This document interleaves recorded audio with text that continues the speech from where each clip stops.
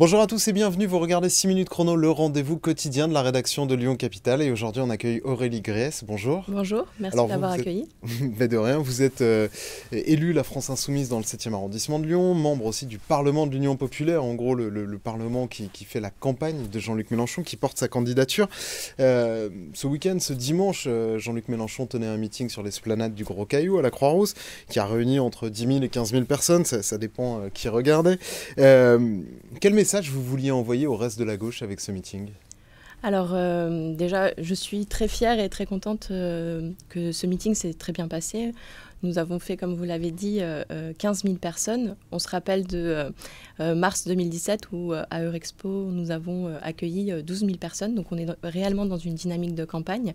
Le message pour la gauche, c'était de dire que nous sommes le rassemblement de gauche aujourd'hui puisque nous rassemblons des militants politiques, bien sûr, mais des militants associatifs, des militants syndicaux, euh, de divers horizons. Et, du coup, euh, voilà, on, on, est, on est plutôt euh, heureux de ce qui se passe aujourd'hui, la dynamique qui est très engagée. Vous pensez que cette dynamique que vous estimez avoir pour vous, elle peut vous amener au second tour? Bien sûr. Bien sûr, puisque... Vous êtes à 12,5, 13, ça dépend des sondages. Le, le, le, le plancher d'accession peut être bas. Oui. Euh, vous pensez pouvoir y arriver? Tout à fait. Alors en mars 2017, on était également à 12, on a fini à 19,6. Aujourd'hui, euh, le deuxième tour, il est plutôt vers 15-16%. On est devant euh, Madame Pécresse. donc en fait, c'est plus une hypothèse, Jean-Luc Mélenchon, c'est une réalité, il passera au second tour. Alors pour l'instant, ce qui vous manque, c'est quand même 3-4 points. Vous pouvez aller les chercher où? Vous pensez qu'il y aura un effet vote utile? Je pense qu'il y aura effectivement un effet vote utile. Nous, on rassemble par la base, d'où l'Union populaire.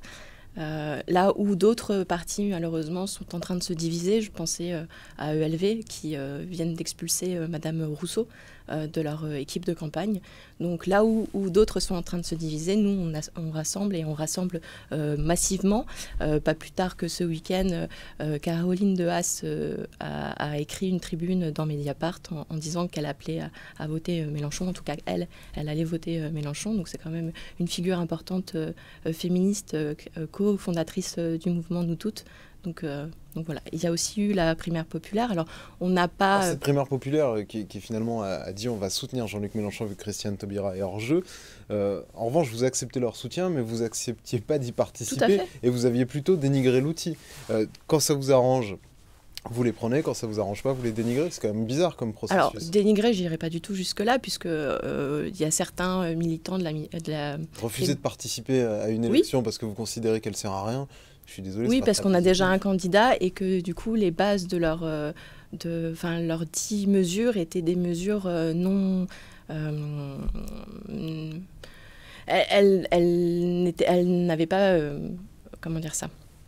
Euh, elle, n'était pas, ces mesures-là n'étaient pas euh, euh, clivantes donc du coup, on les a laissés faire, bien sûr. On n'a pas appuyé aucune, démarche. Par contre, on est très content et, on souhaite la bienvenue à tous ceux qui soutiennent le programme de l'avenir en commun.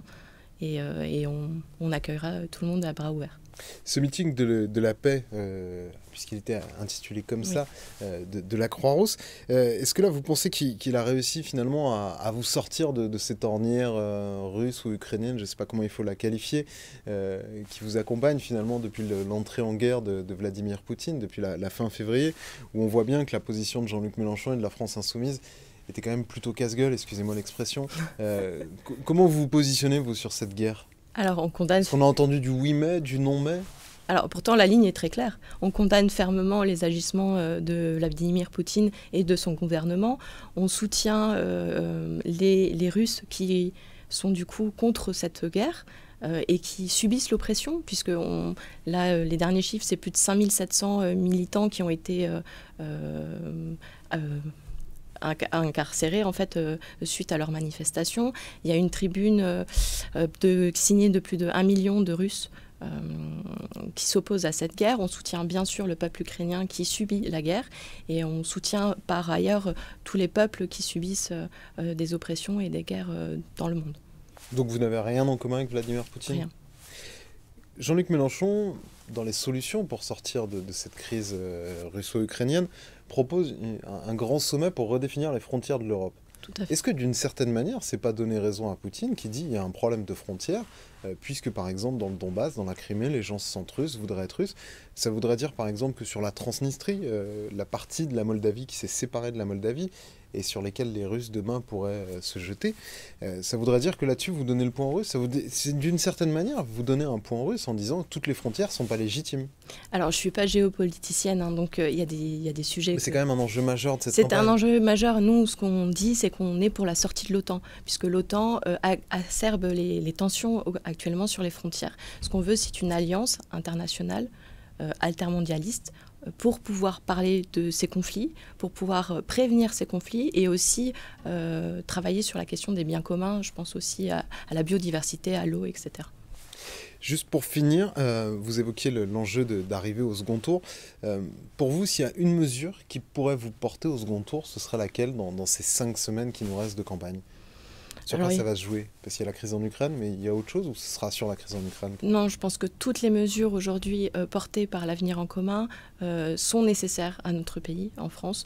Euh, il y a un sujet qui est très important et, dont on a déjà parlé avec la niche parlementaire en janvier 2022, c'est le blocage des prix, parce qu'avec les sanctions qu'on met à la Russie, ça va nous faire euh, exploser euh, l'électricité, le gaz, et donc à un moment donné, pour la population française, il va falloir bloquer les prix et rapidement. Et ça, c'est une des mesures qui sera prise si Jean-Luc Mélenchon passe euh, comme président de la République.